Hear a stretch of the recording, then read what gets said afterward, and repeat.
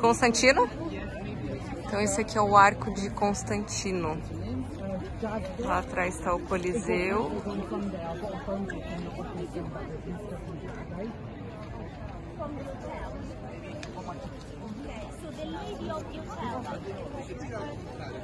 Roma, Itália.